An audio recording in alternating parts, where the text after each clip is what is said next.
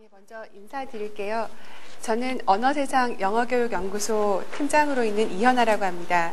여러분들하고 이제 7월부터 12월까지 언어세상 영어교육연구소에서 이제 그 함께 계속해서 세미나를 진행을 할 예정인데요. 상반기에 저희가 진행했던 것과 마찬가지로 매달 다른 주제를 가지고 여러분들을 만납니다. 그래서 매달 주제가 달라지는 부분에 대해서는 여러분 받으신 세미나 안내장이나 또저 뒤에 있는 안내장을 보시면 어떤 주제를 다룰 건지에 대해서 안내를 받으실 수 있는데요. 특별히 7월 달에는 어, 저희가 Literacy Place가 100만 부 판매가 돼서 그 행사의 일환으로 이번 주까지는 Literacy Place를 홈스쿨링 교재로 어떻게 이용할 것인가 부분에 대해서 마무리를 할 예정이고요.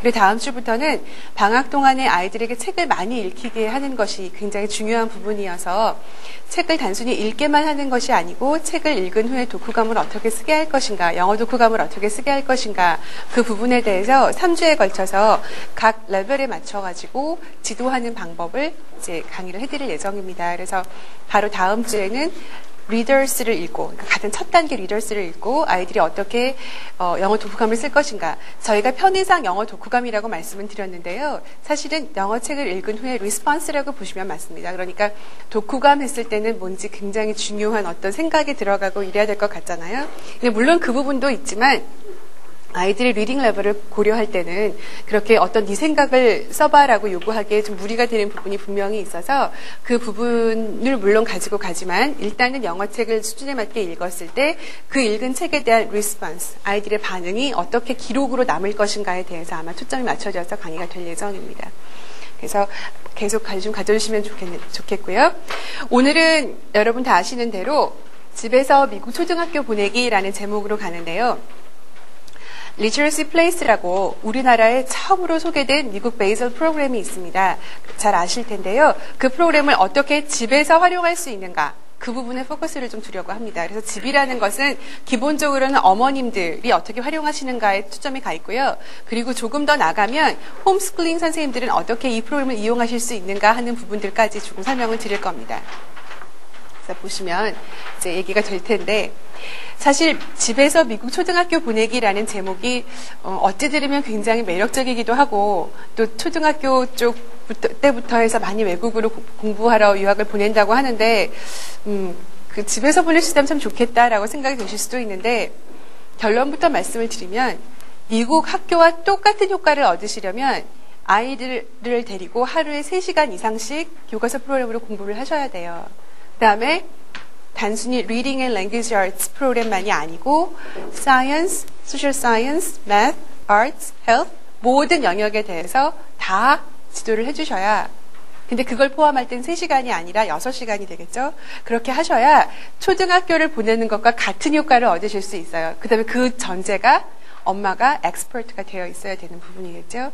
그런데 그렇지 못한 상황이기 때문에 저희가 지금 미국에서 초등학교 보내기라고 말씀을 드리는 부분은 reading하고 language arts 부분에서 최소한 얼마나 그쪽에 가깝게 갈 수 있겠는가 하는 부분을 이야기하는 겁니다. 그래서 그거 미리 이해를 해주시고 아, 이들 영어책 읽고 영어 실력이 향상되는 부분만을 이야기한다는 것을 미리 생각을 하고 들어주셨으면 좋겠어요. 자 그렇다 그러면 미국 교과서 프로그램이 뭘까부터 좀 얘기를 간단하게 할게요. 여러분 받으신 핸드아웃에 다 제가 이렇게 조목조목 적어놓긴 했는데요. 하나하나 보면서 제가 설명을 드릴게요. The Basel Program이라고 하는 게 있고 Textbooks라고 부를 수가 있고 그래요. 미국 교과서 프로그램이라고 저희가 편의상 부르는데요. 교과서라고 하면 텍스북에 가깝죠. 그런데 많은 분이 알고 계시겠지만 미국에서는 한국 개념의 교과서로 아이들에게 모두 한 권씩 나눠주는 책은 없어요. 그래서 어떤 분들이 말씀하시길 미국에서 경험을 하고 오신 분들은 미국은 교과서가 없던데 왜 당신들은 미국 교과서라고 합니까? 라고 이야기를 하시거든요. 미국 교과서라고 할 때는 한국의 교과서에 상응하는 미국의 프로그램이에요. 사실은. 그렇기 때문에 저희가 편의상 우리가 이해하기 쉽도록 미국 교과서라고 부르는 것이고 정확한 명칭은 여기 보시는 것처럼 The Basel Program이에요. 즉 학교에 이 교과서들이 그러니까 책들이 비치가 되어 있고 Reading and Language Arts 시간에 이 책을 사용을 해요. 그런데 아이들이 한 명 한 명 다 우리가 교과서 집에 가지고 가듯이 그렇게 가지고 가지는 않아요. 그 다음에 이 책만 가지고 읽고 해석하고 그것만 하는 게 아니고 여기에 보시면 프로그램이라고 되어 있죠. 즉 선생님이 굉장히 이, 이 내용과 그러니까 이 책 내용과 관련된 많은 프로그램을 가지고 활용을 하면서 그 기본 중심에 이 책을 둔다는 거죠. 그러니까 이 책으로부터 미국 초등학교 시절에 배워야 하는 모든 프로그램들을 운용해 간다라고 생각하시면 되세요. 그래서 The Basel Program이라고 부르는 거예요. 제가 왜 이 말씀을 드리는 거냐면 아까도 말씀드렸듯이 교과서 프로그램이 없다는데 그럼 도대체 어떤 식으로 이거를 쓰는 것이며 미국에서 그다음에 어떻게 우리는 활용을 할 것인가에 대한 분위기가 굉장히 많기 때문에 첫 번째 큰 이해를 하셔야 될 것 같아서 말씀을 드리는 거예요. 그러니까 정리를 해드리면 미국 아이들이 자기 나라 말, 뭐 우리로 치면 국어겠죠. 국어를 배워가는 reading and language arts. 우리나라 국어로 치면 뭐냐면 읽기와 쓰기와 말하기 듣기까지 그 영역에 해당하는 프로그램이라고 생각하시면 되세요. 자, 그 다음에 보시면은 Reading and Language Arts라고 되어 있죠. 아까 제가 잠깐 말씀을 드렸는데 어, 물론 이 내 용 안에 보시면 과학을 다루는 내용도 있고 social science 다루는 것도 있고 math도 있고 다 있어요. 있지만 기본적으로 이 책은 reading 실력을 향상시켜 주기 위해서 우리나라 아이들 국어 실력을 향상시켜 주기 위해서 만든 것이라는 것. 즉 미국 아이들 국어 실력을 향상시키기 위해서 그거 기억을 해 주시면 좋겠고요. 그 다음 보시면 Background of the American Basal Programs라고 되어 있죠. 이제 그 basal 프로그램에 대한 간단한 배경 설명을 좀 드리려고 해요. Literacy Place가 2000년도에 한국에 들어오면서 어, 미국 초등 교과서라고 하고 들어왔어요. 그런데 이 초등 교과서가 2000년이 되고 2002년에 새로 또 개정판들이 나오고 또 2005년에도 나오고 2008년에도 나오고 이렇게 나오거든요. 우리나라 교과서도 3차 교육과 4차 교육과 이렇게 나오죠. 그 7차 교육 과정이 되어 있고 지금 8차가 곧 나온다고 하는데 그런 것처럼 이렇게 개정이 되어 가는데 그 개정판들하고 이 Literacy Place하고 약간 연도 차이가 지잖아요. 그래서 그런 질문들을 저희한테 또 많이 하세요. 그래서 제가 그 말씀을 드리려고 하는 건데요. 어, 2000년도 당시에 이 프로그램을 만들고 했을 때 부시 행정부가 어떤 걸 표방을 했었냐면 No child left behind. 낙제생이 없도록 모두 다 실력을 향상시키겠다고 하고서 시작을 했어요. 그러면서 만들어졌거든요. 처음에 만들어지면서 뭘 하기 시작했냐면 awarded uh, picture books, awarded stories. 그러니까 큰 상을 받은 스토리를 가지고 모두 다 이 책 Literacy Place를 엮었어요. 즉 아이들의 reading 실력을 향상시키면서 좀 더 좋은 양질의 글을 읽게 하고 싶은데 그 기준을 이제 상을 받은 것들로 이렇게 쭉 채웠던 것이고 그 상을 받았던 것이 내용만이 아니라 그림에도 상당히 많은 비중이 있는 좋은 책들로 쭉 연결을 했거든요. 미국은 이민 국가죠. 그러니까 이민자들이 계속 들어오는데 보면 보면 그 사람들의 실력도 같이 데리고 그 아이들의 실력도 같이 데리고 가야 No Child 맞잖아요. 근데 이 친구들이 실제로 모국어가 영어가 아니기 때문에 단순히 그냥 오센틱 스토리 가지고 하려고 하다 보니 실력이 자꾸 떨어지는 게 드러났어요. 그래서 그리고 아무도 낙제를 안 시키겠다고 생각을 하다 보니까 전체적인 실력 자체가 낮아졌어요. 그러니까 1900년대 아이들의 그 실력 평가를 초등학교 4학년 기준으로 실력 평가를 했던 거하고 그 No Child Left Behind 그러니까 실시되고 나서 4학년 아이들 실력을 비교했더니 실력 자체가 이렇게 차이가 졌어요. 다 떨어졌어요. 그 이유를 살펴보니까 전체적으로 그 맞춰가려고 하다 보니 쉬운 텍스트로 가게 되니까 전부 다 그냥 쉽게 쉽게 하다 보니 같은 수준의 문제를 놓고 시험 보면 당연히 얘네들이 못 풀 수가 있겠죠. 옛날보다는. 그런 거 하고 이민자들이 굉장히 많아지다 보니까 그 친구들을 다 데려갈 수 있는 특별한 방법이 있지 않고는 같이 실력이 다 올라가질 않는 거예요. 그래서 생각을 해냈던 게 뭐였냐 하면 친구들이, 이민자 친구들이 일단은 리딩을 할 수 있다는 자신감을 갖게 하려면 주변에서 보고 쉽게 볼 수 있는 것들을 읽어, 읽을 수 있으면. 다시 말해서 뭐 no smoking이라고 되어 있는 거라든가 그 다음에 뭐 do not disturb라고 되어 있다든가 아니면 뭐 go straight, go right이라고 된 사인보드 같은 걸 읽을 수 있게 되면 우리나라 아이들도 마찬가지지만 영어가 굉장히 어렵다고 느껴지는 상황에서 어 내가 주변에 있는 글 영어가 읽어진다라는 부분들이 굉장히 자신감을 많이 고취시킬 뿐더러 그 친구들이 와서 여, 영어가 가장 필요한 부분은 survival English 그러니까 생존을 위한 English가 굉장히 필요하잖아요. 그 부분에서 얘네들을 먼저 빨리 땡겨줘야겠다고 생각을 했어요. 그럼 바로 그 주변에서 볼 수 있는 영어가 뭐냐 하면 넌픽션이었어요. 그래서 미국에서 이야기하는 넌픽션을 보면 단순히 science, social science, math만 있는 게 아니고 여러분들이 보시기에 이것도 가르쳐야 돼? 이런 내용이 들어있는 주변에서 무슨 I can read signs 이런 것들이 굉장히 많이 들어가 있고 메뉴판에 대한 것도 많이 들어가 있고 실제로 슈퍼마켓 가서 물건을 사고 계산을 하는 것도 들어있고 그래서 이거 보고 있으면 야 이거 우리 애들한테 이걸 가르쳐줘야 돼 말아야 돼 이렇게 고민되는 넌픽션들이 저학년에 굉장히 많이 들어가 있거든요. 그게 나쁘다는 것이 아니고 그, 그 내용들은 미국에 와서 살아야 하는 친구들을 중심으로 만들어진 거거든요. 그러니까 그거 나쁘다는 것이 아니에요, 분명히. 그 부분이 덜 필요한 아이들 입장에서 영어 실력을 일단 올리고 싶은 친구들 입장에서 볼 때는 조금 부족한 부분이 없지 않아요. 그래서 그 부분들이 이제 포함이 되어 있는 것들이 개정되어 나오는 교과서들에 많이 들어가 있어요. 그래서 지금 여러분들 트로피스나 요즘 나오는 트레저스나 새로 나왔다는 교과서들을 보시면 넌픽션, 픽션 비중이 반반이에요. 그런데 그 넌픽션이 그 추가가 된 배경이 제가 지금 말씀드린 그런 배경에서 들어갔어요.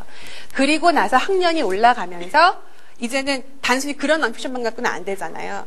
이제 뭐하고 결합을 시켰냐면 academic skills. 그러니까 아이들이 상급 학교 올라가면서 공부해야 하는 스킬들이 있죠. 그 스킬들하고 연결시켜서 넌픽션, 픽션을 같이 공부하게 만들었어요. 그래서 보면 그 academic skills 제가 또 이따 Literacy Place도 말씀을 드리겠지만 거기 academic skills 보면 실제로 아이들이 학습을 하는데 필요한 기술들, 즉, 뭐, 내용을 분석한다든가, 또 리포트를 써낸다든가, 거기에 맞는 그 양식을 배운다든가, 이런 것들이 다 포함이 되거든요. 필요한 자료를 찾는다든가. 그러다 보니 이제 그게 넌픽션하고 이렇게 맞물려져 있는 거예요. 그러면 결론적으로 무슨 얘기를 드리려고 하는 거냐면, 픽션, 넌픽션 비중을 똑같이 가는 건 당연히 맞아요. 그리고 그렇게 가르치시는 것이 나중을 생각했을 때도 훨씬 우리한테 도움이 되는데요. 그 영어가 모국, 그러니까 EF 외국어인 환경이 우리나라 같은 데서는 일단 그 단계까지 올라올 때까지 아이들의 영어 실력이 먼저 이렇게 선행돼 줘야 되는 게 필요해요. 지금 이민자로서 미국에 살고 있는 친구들은 항상 영어 환경에 노출이 되어 있잖아요. 그러니까 넌픽션 가지고 막 읽어가고 공부를 해도 이 친구들이 메이크업 할 수 있는 부분이 충분히 있어요. 그 영어 실력을. 그런데 지금 우리 친구들 같은 경우에는 나가서 영어를 볼 수 있는 것이 거의 없잖아요. 그렇죠? 그러다 보니까 이런 상황에서는 절대적으로 영어 실력 자체를 끌어당겨주는 그 고 부분이 선행이 돼줘야 그 다음 넌픽션을 얹었을 때 아이들이 크게 혼란 없이 갈 수가 있어요. 그 다음에 저학년에서 넌픽션이 같이 가는 게 중요하긴 한데 저학년들한테 넌픽션 비중이 아주 크면 안 되는 이유 중에 하나가 뭐냐면요. 넌픽션의 문제가 문장들이 굉장히 간결해요. 그 다음에 영어적으로 풍부한 표현은 그렇게 많이 들어있지 않아요. 왜냐하면 인포메이션 전달에 초점이 되어 있는 내용이 넌픽션이거든요. 그러니까 거기에 너무 익숙해지면 아이들이 어떤 딜레마가 빠지냐 하면 내용은 이해를 하겠어요. 왜냐하면 영어가 쉬우니까. 그런데 그걸 표현할 적에 풍부한 표현으로 자기 생각을 표현하는 거에서 굉장히 약해져요. 간결하게 문장을 쓸 수 있는 것밖에 안 돼요. 왜냐하면 읽은 모델이 전부 다 간단한 문장이었기 때문에. 그래서 아이들 영어 실력 자체를 높여주기 위한 목적이라고 하면 픽션 비중이 저학년에 훨씬 큰 것이 좋아요. 그러면서 넌픽션은 같이 들어가줘야죠, 조금씩. 그러다가 학년이 올라가면서 2학, 초등학교 2학년 후반기 3학년이 되면서부터는 넌픽션이 이제 비중이 거의 같아지는 식으로 올라와도 괜찮지요. 왜 영어 실력이 이미 자라 있으니까요. 그러니까 우리 아이들도 마찬가지예요. 우리 아이가 초등학교 1학년 정도의 교과서를 볼 수 있는 수준이라고 하시면 당분간은 넌픽션을 많이 읽히시기보다는 비중을 약간 줄이시고 픽션 쪽을 많이 가져가시고 그 다음에 그 우리 아이가 초등학교 2학년 올라가겠다고 하면 저, 정도 책을 보겠다고 하면 점점 점점 넌픽션 비중을 크게 하셔서 이제는 3학년 정도 올라가면 반반 비중이 되게 하시는 게 가장 좋지요. 그 다음에 또 하나가 아, 그게 이제 American 그 basal program background라고 말씀을 드릴 수도 있고요. 또 하나가 trend of American basal programs가 아까 말씀드린 넌픽션이 반영된다는 부분이에요.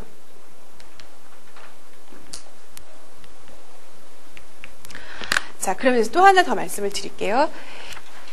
이제 여기서 보시면 트렌드는 넌픽션 쪽으로 가고 있는 거지만 우리 아이들한테 픽션이 필요한 이유가 한 가지가 더 있어요. 어, 제가 교포 선생님들하고 많이 이제 얘기를 해보고 하는데요. 그분들이 영어도 굉장히 잘하시고 한국말도 굉장히 유창하게 하시잖아요. 그런데 어디에서 걸리는 부분이 딱딱 나오냐면요. 우리는 흔히 이야기를 할 때, 아이고, 이 파츠 같은 거사. 죄송해요. 여러분들한테 그런 게 아니고. 농담을 할 때, 아이고, 이 파츠야. 내가 파츠 엄마냐? 이렇게 얘기를 한단 말이에요. 그러면 모두가 공통적으로 알아듣죠. 그래서 그냥 웃잖아요. 교포 선생님들이 그게 안 돼요. 제가 교포 선생님 나쁘게 얘기하는 게 아니에요, 이거는. 예를 드는 거예요, 그냥. 왜 안 되냐면요. 어, 그 콩쥐파츠를 읽을 시절에 한국 책을 읽지 않았잖아요. 이 얘기가 무슨 얘기냐면 반대로 우리 아이들이 영어를 잘해서 올라갔을 때 항상 어디서 벽에 막히냐 하면 미국 사람들이 드는 비유와 문화적 배경에서 도저히 이해가 안 돼요. 그래서 영어 실력이 안 느는 것 같아요 라고 얘기를 한단 말이에요. 근데 그 부분을 빼면 영어 잘해요. 근데 그 부분에서 딱 막히기 때문에 영어가 더 이상 안 느는 것 같고 왜난 여기서 몇 년을 살아도 영어가 안 되고 그런 고민이 나오는 거거든요. 즉 미국 아이들이 모두가 공통적으로 읽는 이야기들, 알고 있는 이야기들을 아, 읽지 않아서 그런 문제가 되는 거예요. 반대 경우도 마찬가지예요. 한국말을 배우는 사람도 똑같은 얘기를 할 거예요. 그, 그렇기 때문에 미국 아이들이 가장 많이 읽는 영어 책들을 같이 읽게 해주는 것도 나중에 아이들 영어 실력이 쭉 자라 있을 때 그 친구들이 느끼는 벽을 많이 완화시켜주는 역할을 해요. 그 벽을 아주 없앤다고 말할 수가 없죠. 왜냐하면 완전히 젖어 있는 게 아니니까요. 그렇지만 그 친구들이 많은 그 부분을 해결하고 갈 수 있는 것은 미국 아이들이 많이 다 대부분 다 알고 있는 그 이야기들을 어린 시절 영어를 배울 때에 함께 읽어가는 거거든요. 그런 면에서 선택을 할 때 그 picture book들을 많이 선택을 해주시는 게 좋은데 그럼 도대체 picture book이 이렇게 많은데 어떤 걸 할 것이냐잖아요. 저희가 이제 그래서 그런 면에서 Literacy Place 쪽으로 많이 말씀을 드리는 게 뭐냐면 그 awarded story, awarded picture book이라고 할 때는 기본적으로 아이들이 거의 다 읽어요, 미국 아이들이. 그다음에 공통적으로 갖고 있는 공통된 정서가 많이 담겨 있거든요. 그래서 그런 분, 부분들을 가지고 같이 보게 하시면서 영어를 가르, 같이 가르쳐 주시게 되면은 그런 나중에 아이들이 봉착할 그런 벽들에서 상당히 많이 cover하고 가실 수가 있어요. 그런 부분에서는 픽션 쪽으로 많이 되어 있는 Literacy Place가 참 좋은 부분이 있다고 말씀을 드릴 수가 있죠. 이렇게 말씀을 드리면 그럼 다른 책은 별로예요? 아니에요. 다른 책도 좋아요. 좋은데 이제 그런 문제가 있어요. 개정판들이 계속 나올 때는 아이들한테 가장 좋은 책들도 많이 넣겠지만 또 옛날 이야기들 중엔 아주 코어가 되는 클래식은 넣겠죠. 근데 새로 나왔기 때문에 새로운 이야기들이 많이 들어가 줘야 되잖아요. 그렇게 되면 우리가 기본적으로 생각하는 미국 아이들이 달고 가는 책들은 아이들은 빠져나가고 새로운 이야기가 들어갈 수 있어요. 근데 미국 아이들 문제가 안 돼요. 왜냐하면 그 책을 읽을 거잖아요. 다른 책을 통해서. 근데 우리 아이들은 그렇지 않으니까 될 수 있으면 여러, 그러니까 옛날에 나온 책이 나, 예, 오래돼서 나쁜 게 아니고 그런 장점이 있다는 것들을 좀 기억을 하셔서 새로 나온 것들도 보시고 또 예전, 예전 것도 장점들을 보셔서 같이 장점들을 다 살려가시는 게 가장 좋습니다. 그 다음에 또 한 가지는요. 이제 그 여러분들이 많이 미국 교과서 프로그램을 하실 때 그 질문을 가장 많이 하시는 부분 중에 하나가 레벨 간 격차가 너무 심해요예요. Grade 1에서 이제 1권부터 쭉 1.1, 1.2쭉 쭉 나가잖아요. 고급 1.6까지는 어떻게 가겠어요. 근데 거기도 1.4쯤 되면 이렇게 탁탁 뛰어요.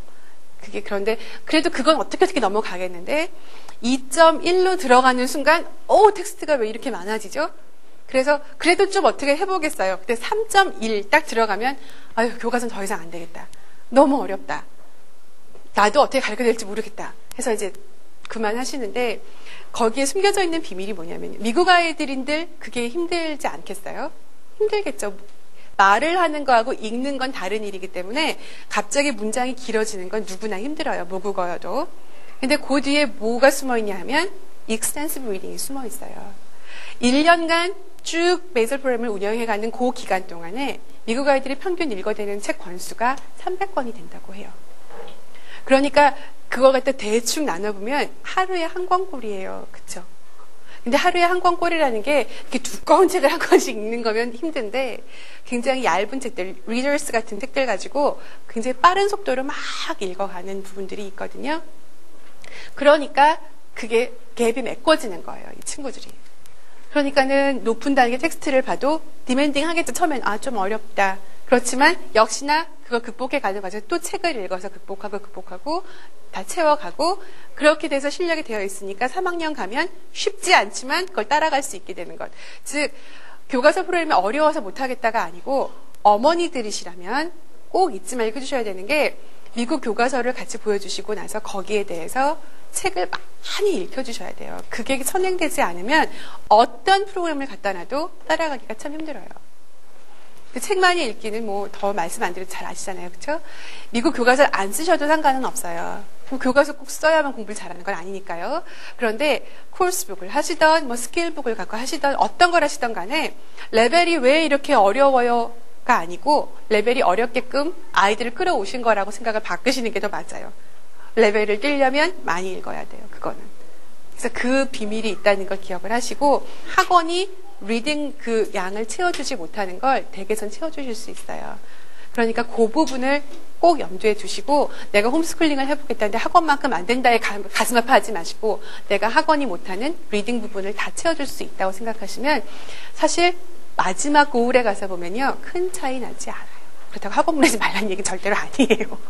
학원을 보내셔도 책은 많이 읽히셔야 되는데 어머니들이 굳이 내가 홈스쿨링을 하겠다고 선택을 하셨을 때 보다 더 가져갈 수 있는 강점이 그거라는 말씀을 드리는 거죠. 이런 백그라운드가 있구나라는 말씀을 드렸으니까 오늘은 Literacy Place에 대해서 들으시려고 오셨잖아요. 그러니까 그럼 Literacy Place에 대한 이야기를 좀 할게요.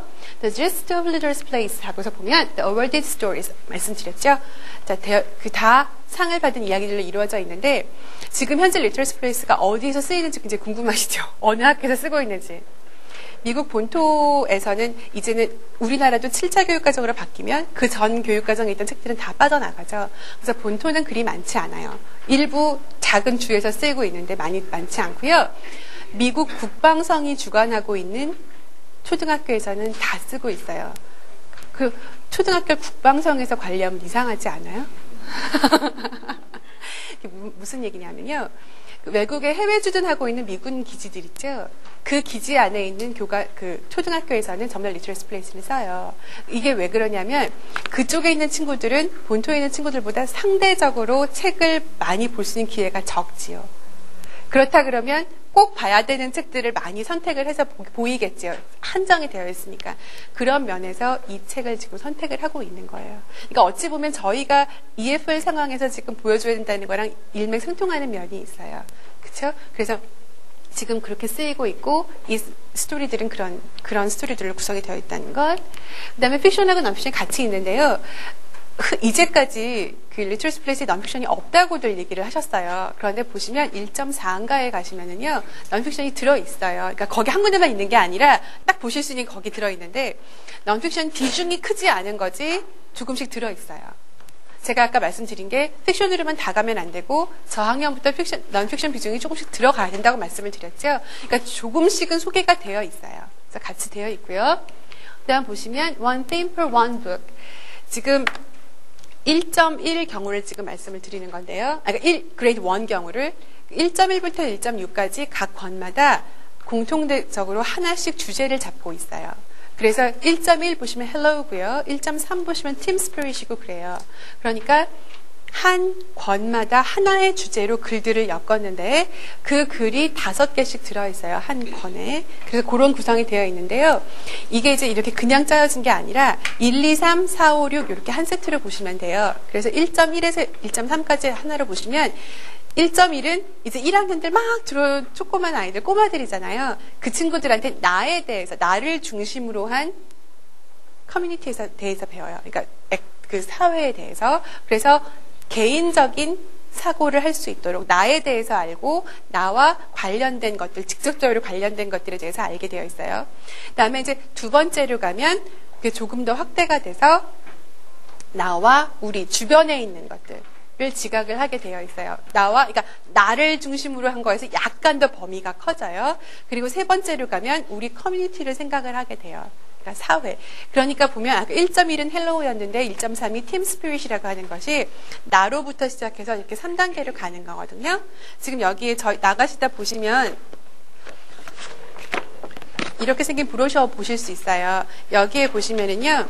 여기에 개인적 리터러시 literacy, 지적 literacy, 사회적 literacy라고 되어 있어요. 즉 아이들의 사고의 이 발전되는 폭이 나로부터 시작해서 나, 그 다음에 나와 주변, 그 다음에 사회 이렇게 보게 되는 거 되잖아요. 그래서 그걸 생각해서 1.1, 1.2, 1.3을 구성을 했고, 그다음에 1.4는 미국, 그러니까 우리로 치면 2학기에 해당이 되, 시작되는 거라서 다시 개인 또 내 주변, 그다음에 사회 이런 식으로 구성이 되어 있어요. 주제가 그렇게 들어있다는 거.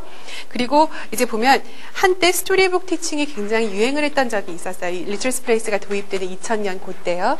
그때 보면 storybook을 많이 가르치고 읽어주고 좋은데 도대체 어떤 순서로 어떤 내용을 어떤 책을 해줄까가 굉장히 고민이 많이 됐었고 거기에 대해서 가이드라인을 별로 제시를 많이 못해서 storybook이 이렇게 가라앉은 면도 있거든요. 근데 이제 보시면 특히나 집에서 어머니들이나 또 선생님도 마찬가지지만 어머니들이 보실 때 책을 읽어주고 아이들 책 도, 그러니까 스토리북을 공부한 다음에 이야기할 거리를 잡는 것이 주제로부터 잡게 되시는 게 가장 좋자, 좋거든요. 그런데 그 주제를 그러면 좋다. 거기까지는 내가 이론적으로 알겠다. 그러면 같은 주제가 있는 스토리를 어떻게 찾냐?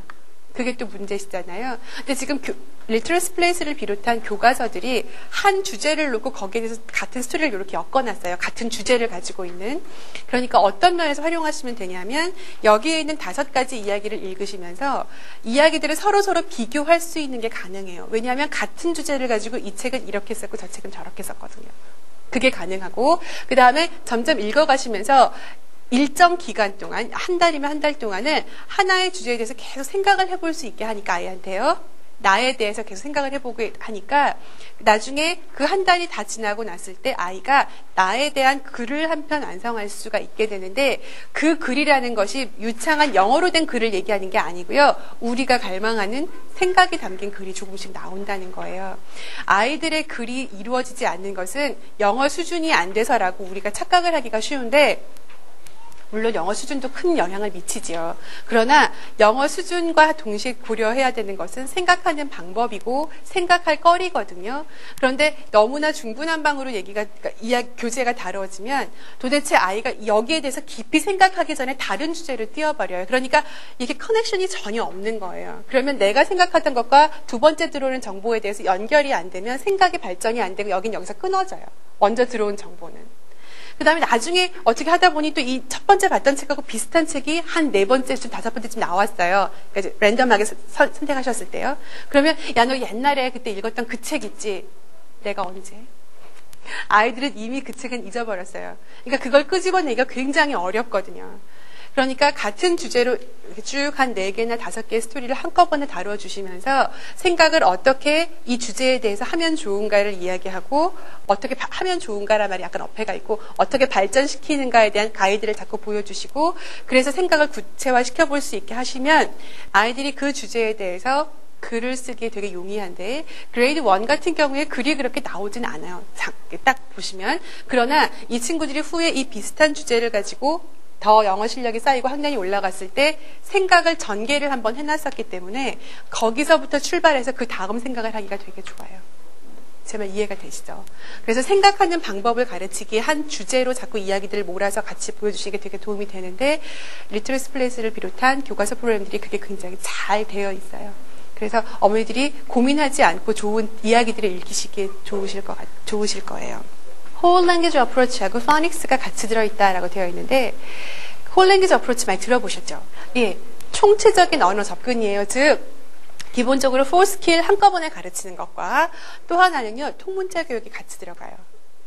그런데 이 2000년대, 그러니까 1998년, 99년 그때, 그러니까 고, 물론 그 즈음에 whole language approach가 굉장히 확 spotlight 받았어요. 그 전에부터 얘기가 있긴 했지만 그때 막 관심이 돼서 막 떠올랐어요.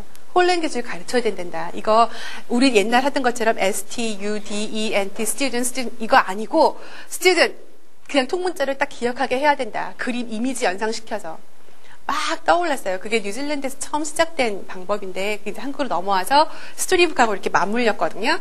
근데 하다 보니 어디서 걸리냐면 이미지로 연상이 되는 그림까지는 가르칠 수 있어요.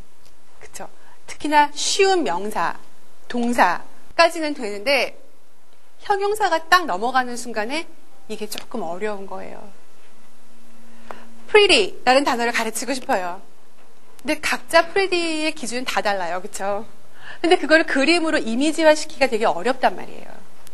그러니까 그냥 pretty라고 해놓고는 그냥 찍어서 가르치는 거가 아이들이 이제 좀 이해가 안 되기 시작하는 거예요. 그 다음에 동사도 그림으로 해결 안 되는 동사들이 막 나오는 거죠. imagine. 어떻게 할 거예요? 여기다 이렇게 점점점 이렇게 그려놓고 imagine. 그러다 보니까 아, 통문자 갖고 안 된다. 통문자로 그러면 안 본 건 못 읽잖아요. 그러니까 애들이 읽는 게 자꾸 떨어진다. 이게 한국 얘기가 아니라 미국 얘기예요. 그런 얘기들이 나오니까 옛날 파닉스 교육이 필요하다라고 얘기가 됐어요. 그래서 다시 파닉스가 다 막 들어오기 시작했어요. 근데 그 미국에서 그렇게 흘러간 것이 한국 내에선 기간은 단축됐지만 똑같은 방향으로 흘렀어요. 야, 이거 예전에 우리는 phonics도 모르면서 우리 세대는요. 그냥 막 스펠링을 외워서 영어 단어를 외웠잖아요. 근데 phonics라고 하니까 어 이거 괜찮은 것 같다. 그래서 모 회사가 굉장히 선풍적인 인기를 끌었죠. 근데 하다 보니까 phonics는 쉬운 단어만 가르쳐주는 것 같아요. 왠지 그런 그런 얘기가 있고 그 다음에 그게 거기서 무슨 비판이 나오기도 전에 whole language라는 게 또 확 등장을 했어요. 근데 이게 굉장히 각광을 받았던 게요. 어른들 마음에 굉장히 터칭했어요. 스토리가 감동의 도가니인 거죠 보면은. 그, 와, 이렇게 좋은 얘기를 우리 왜 몰랐을까. 이런 얘기 때문에 이 홀랭귀지 어플에서 좋다라고 얘기해서 같이 확 물렸는데, 그러다 보니까 아까 말씀드린 대로 읽을 수 있는 하, 단어가 한 개가 져지고, 또 하나가 스토리북이요. 리터처예요, 원칙은. 그쵸? 그럼 문학의 특징은 뭐예요? 쉬운 단어로 안 돼 있어요. 그쵸? 애들 거지만. 그러니까, 야, 이거 너무 어렵다, 단어가. 얘 이거 모를 것 같다. 그럼 뭐 exaggerate라는 단어가 돼 있어요. 얘가 지금 3단, 3음절 단어는 생전 처음 보는데 이걸 가르쳐야 돼, 말할 때. 그러면 이거 다음에 안 나오면 어떡해. 그래서 막 가르쳐요. 애가 그걸 못 받을 거 아니에요. exaggerate? 정말 그거 exaggeration 한 거죠, 엄마가. 그러니까, 어, 이거 안 되겠다. 이거 안 되는구나.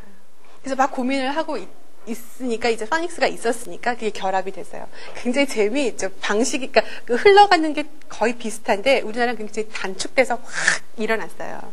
이제 그렇게 되어서 되어서 지금은 미국의 모든 교과서 프로그램에 홀랭귀지 어프지 통문자 하고 그다음에 파닉스가 들어가는데 통문자가 통문자로 들어가 있지 않고 어떤 식으로 돼 있냐면 high frequency words라고 해서 약간 단어들을 분리를 시켜놨어요. 그래서 정말 통문자를 익혀야 되는 건 high frequency words 쪽으로 쉬, 그러니까 꼭 필요한 것들을 넣고 그 다음에 이렇게 소리 규칙에 의해서 읽어줘야 된다는 그렇게 가르치게 그렇게 되어 있는데 Literacy Place에 phonics가 없는 게 아니고 파닉스 들어 있어요. 누가 그렇게 소문을 퍼뜨렸는지 이게 phonics가 없다고 소문이 나서 나는 저는 분명히 이게 보이는데 여기 연습 문제 있는데 있어요 어머니 여기 있는데요 그러면 없다던데요 그래가지고 어느 페이지에 이렇게 있어요 그러면 어머 있네? 이거 전화 끊으시고 그런 얘기가 많아서 제가 말씀을 드리는데요. 그런 백그라운드 가지고 한참 phonics가 다시 들어와야 된다고 할 때였기 때문에 같이 들어있어요. 그다음 보시면 from reading to writing 모든 분 그 어머니들의 로망이 뭐냐면 우리 아이가 영어로 글 좀 썼으면 그런 부분인데 글을 쓰는 것을 여러 가지 방법으로 어프로치를 하죠. 뭐 영어 일기도 쓰게 하고 이렇게 하는데요. 일기를 그러니까 아이들 중에 스스로 잘하는 애들이 있어요. 그런 친구들은 일기를 쭉 쓰게 하면 읽는 것과 해서 연결을 시켜가지고 쭉쭉쭉 밀려나는데 그런 친구들은 정말 소수고요. 아이들한테 영어 일기 쓰게 하다가는 엄마하고 애하고 싸워가지고 사이 벌어지기 딱 좋잖아요. 너는 맨날 하는 일이 왜 똑같아? 심지어는요. 아이들이 안 했는데 그냥 쓰라니까 써나 서면 엄마가 읽을까 싶어서 썼어요. 근데 엄마가 태필은 그날 봤어요. 그래가지고 야 네가 언제 할머니 댁 갔다 왔냐? 근데 그거 많죠. 애들 많잖아요. 방학 때 몰았으면 갔다 오지 않으면 미국도 갔다 오고 막 이런 그렇게 돼서 하다 보니 아이는 나름대로 애쓴 거거든요. 그거. 근데 애쓴 걸로 안 보이고 이거 봐라 이거 맨날 똑같은 문장 쓰더니 이제 지어내? 내가 했어? 네가 한 일 영어로 쓰랬지. 싸운다고요. 근데 그게 아이가요, 영어가 문제가 아니고, 아까 말씀드린 것처럼 도대체 뭘 써야 돼. 생각에 대한 부분이 정리가 안 돼서 그런 게 되게 커요. 그러면 생각을 하면 될 거 아니야. 그쵸. 맞죠. 그 말이. 근데 어떻게 생각을 해요? 생각을 하면 될 거 아니야. 그럼 똑같아요. 여러분들이 편지를 쓸 때 누구는 잘 쓰지만 안 나가는 사람들. 편지 쓰면 될 거 아니야. 하고 말 그대로 쓰면 될 거 아니야. 친구한테 편지 쓰면 친구 보면 하고 싶은 말 있잖아. 그거 그대로 말이 아쉽죠. 그게, 그게 안 써지죠? 아이들도 똑같다는 거예요. 거기다 영어로 쓰라니 더 미치죠, 정말로. 그러니 엄마가 왼수 같을 거 아니에요? 그러니까 그 부분을 해결해 줄 수 있는 것은 아이하고 잘 이야기를 나누면서 네가 무엇을 했는지를 일단 짚어주는 거예요. 그리고 나서 그거를 써보는데 리스트를 하는 게 아니라 그 중에 하나를 집어서 거기에 대해서 쓰라고 자꾸 얘기를 하는 건데 그래서 또 싸워요. 거기에 대해서 쓸 게 없다니까! 그러면 생각해보라니까! 이래서. 자, 그러니까 제가 영어 일기가 나쁘다는 것이 아니고요. 그건 좋은 방법이긴 한데 아이한테 가이드가 없으면 참 어려운 일이거든요. 근데 아이들 writing이 좋아질 수 있는 방법은 꺼리를 주면서 거기에 생각을 발전시킬 수 있는 부분들을 질문으로 자꾸 던져주는 거예요. 그럼 거기에 대한 대답을 하다 보면 아, 여기에 대해서 이렇게 쓰면 되겠구나라는 게 생각이 나는 거거든요. 근데 이거는 미리 말씀드리지만 굉장히 오래 걸리는 작업이에요. 그래서 안 돼가지고 저는 그 손을 떼는데 뭘 해주냐 하면 가끔씩 그 책이 뭐가 그렇게 재밌디? 난 재미없던데. 그러면은, 아니야, 엄마 그거 되게 재밌어. 그래? 그럼 그건 뭔데? 이렇게 해서 거기서부터 얘기를 길게 안 하고요. 한 3분. 3분을 주거니 받거니 잠깐 해줘요. 그러고 나면 사실은 거기에 대해서는 그 친구는 생각을 해보게 되는 거거든요. 학원에서요. 글을 써라고 했을 적에 제가 그런 말을 한동안 안 해주고 방치할 때는요. 쫙 리스트를 해요. 그러니까 I want to play 뭐 어쩌고 I want to go 어쩌고 I like 이렇게. 그런데 다른 책으로라도 요새 Warrior라는 책에 박혀가지고 얘가 꽂혀서 열심히 읽거든요. 근데 그런 거하고 얘기를 좀 해주고 나서 글을 쓴 걸 보면 어느 하나에 대해서 쓰려고 애를 쓴 흔적이 보여요. 잘 쓰진 않았지만. 그러니까 그거는 생각하는 방법을 자꾸 주는 거거든요. 지금 여기서 reading to writing에 왜 이 얘기를 드리냐면 아이들하고 이야기를 나눌 거리를 마련을 하실 때 아이가 읽은 책 갖고 이야기를 시작을 하시는 것이 가장 좋은데 그 읽은 것서부터 질문을 잘 하셔서 거기에 대한 답을 함으로써 writing으로 넘어오게 하시는 것. 그 질문은 어떤 걸로 하는 게 가장 좋을까요? 육하 원칙이요. 요 다음번에 제가 그게 나올 텐데 5W 퀘스천 가지고 질문을 하시면 돼요. 그래서 아이들이 책을 읽을 때 무엇을 읽어야 하는가에 대한 목적을 주시면 그 다음부터 그거 그 정보를 찾는 데에서 집중해서 읽게 되고 거기서부터 그 다음 단계 넘어갈 수 있거든요. 근데 우리는 흔히 그렇게 안 하고 어떻게 하냐면 책 읽어봐. 그다음에 네가 가장 감동 깊은 점은 뭐야? 이렇게 묻는단 말이에요. 근데 감동 깊은 게 없을 수도 있지요. 그리고 정말 재미있자고 쓴 책도 있잖아요. 거기에 감동이 있진 않잖아요. 그래서 재밌어. 그렇게 얘기하면 뭐가 재밌어? 웃겨. 뭐가 웃겨? 이렇게 따지고 들어가면 싸운다고 해요. 그러니까 누가 나왔어? 걔가 무슨 일을 어떻게 했어? 어, 무슨 일을 했어? 어, 걔는 그럼 이 일이 어디서 일어난 일이야? 어, 그래? 그렇구나. 그럼 언제적 일이야? 아, 걔가 그럼 그렇게 빵을 샀어? 왜? 이렇게 물어주면 나름대로 스토리 정리가 되잖아요. 왜라는 question을 굉장히 잘 해주시면 거기서부터 writing 할 거리가 생기기 시작하는 거거든요. 그래서 to writing is, 근데 이제 이 교과서 프로그램들이 그런 질문들을 가이드를 굉장히 잘 주고 있어요. 그러니까 스토리를 읽고 뭘 물었는지 막막할 때 무슨 질문을 어떻게 가야 되는가가 잘 제시가 되어 있다는 거죠. 그러니까 writing까지 연결하기가 굉장히 쉽지요. 지금 제가 대충 말씀드린 게 Literacy Place의 개략적인 부분이에요. 그러면은 homeschooling으로 Literacy Place를 어떻게 사, 용할 건가 한번 볼게요. 이제 여러분들이 받으신 그걸 보면 제가 practice book 중에 다섯 페이지를 카피해서 드렸어요. 이제 그걸 다 말씀을 드릴 건데요. 어, 처음에 보시면 two classes for one unit 그렇게 되어 있고 한 시간에서 한 시간 반, 한, 한 시간, 그러니까 한 수업당 그렇게 간다라고 되어 있는데 어, 워낙에 이런 교과서 프로그램들이 아까 말씀드린 대로 학교 수업을 전제로 짜져 있어요. 그렇죠? 그래서 teacher's guide를 보시면요. 한 권당, 그러니까 한 과에 대해서 세 개의 큰 섹션으로 하게 돼 있어요. 그래서 reading, writing, 그다음에 extended skill 이렇게요. 제목은 조금 다르지만 다시 말하면 reading 가르치고 language 쪽에서 해서 writing하고 연결해서 하나 가르치는 시간이 또 있고 그 다음에는 스타디 스킬 쪽으로 묶어가지고 하나를 가르치는 게 있어요. 그러니까 이제 받으신 것 중에는 없을 수도 있는데 여기 프랙티스북을 보면 이번 경우 같은 거는 광고문을 작성하는 요령이에요. 근데 광고문을 작성하려고 하는 게 아니라 이거는 목적에 맞는 글쓰기 하는 걸 가르치는 거거든요. 이번 그 이 이번 일, 아, 헷갈리시겠구나. 무슨 말인지 모르셨죠? 제가 지금 여러분들하고 Little Red Hen이라는 과를 갖고 이야기를 하려고 하는데 그 과에 대해서 공부를 하다 보면 마지막에 study skill 그래서 다루고 있는 것이 바로 그 부분이에요. 그러니까 목적에 맞는 글쓰기 하는 거. 근데 그게 나중에 이 과만이 아니라 아이들 리포트를 쓸 때 굉장히 중요한 skill이잖아요. 이런 식으로 다루어서 그거를 또 3시간을 커버를 하게 되어 있어요. 그렇게 되면 집에서 생각을 하시면은요. 학교 갔다가 아이가 2시쯤 오잖아요. 그때부터 걔를 붙잡고 3시간 동안 reading을 해야 세 번 수업 중에 한 번을 완성을 하는 거예요. 그리고 난 그 다음날 또 학교 갔다 오면 또 3시간 잡고 writing 해줘야 되고 그 다음날 갔다 오면 또 3시간 잡고 extended skill 해야 돼요. 그러면 다른 거 아무것도 못하죠 얘는. 그러니까 하다 보면 아유 안 되겠다 이거. 너무 힘들어서 안 되겠다. 그 다음에 시간도 그렇고 또 어머니들도 마찬가지예요. 가르치 선생님이 아니잖아요, 엄마는. 그러니까 3시간 동안 채워야 되는 내용을 expert가 아니시니까 다 가져가실 수가 없어요. 그 다음에 가이드에서 제시하는 건 group work 되게 많거든요. 게임도 해라. 뭐 같이 뭐 얘기를 해봐라. 근데 그거 아닌 거 빼버리고 나랑 얘랑 둘이 앉았는데 3시간 동안 채워가라 그러면 싸울 것밖에 할 게 없어요. 야, 다시 읽어봐. 그것도 못 읽어? 아까 읽어줬잖아. 이렇게. 그러니까 그렇기 때문에 조정을 한 것이 저희가 reading 1시간, 에서 1시간 반, writing 관련해서 1시간에서 1시간 반. 근데 두 번째가 writing 관련해서지 writing에 대해서만이 아니에요. 그렇게 해서 두 번 수업으로 가져가시는 것이 홈스쿨링에서 가장 적합한 시간이더라고요. 이거는 여러 사람들의 경험에 의해서 저희가 만들어낸 시간인데요. 엄마하고는 한 시간 이상을 앉아 있으면 반드시 금가게 돼 있어요, 사이가. 그리고 엄마, 왜 그러냐면요.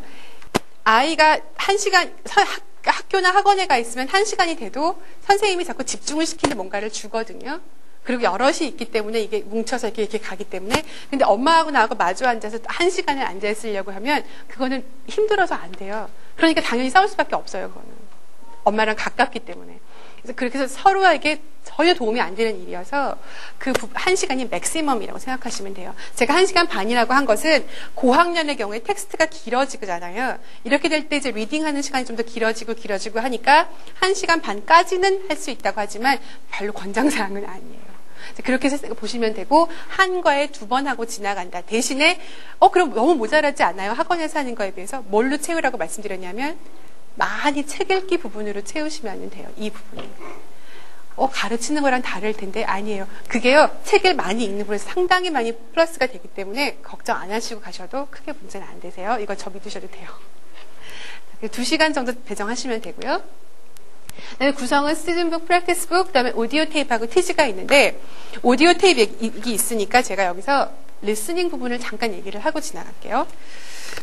가르치는 방법을 쭉 그러면서 가르치시는 그 순서를 쭉 얘기를 할 텐데 이거는 여러분 다 메모하셔야 될 부분이에요. 워낙에 reading 쪽을 가르치는 방법을 이야기할 때 reading process라는 거 많이 들어보셨죠? 그리고 before reading, during reading, after reading. 이제는 누구나 다 알아요, 이거는. 그쵸?